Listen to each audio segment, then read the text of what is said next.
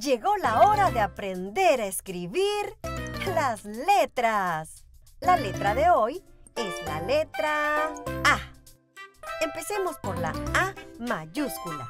Primero, trazamos una línea hacia abajo.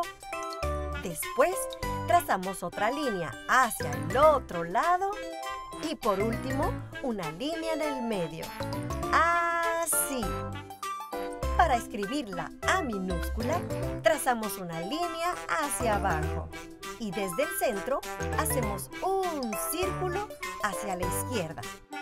Así. Muy bien. Abeja.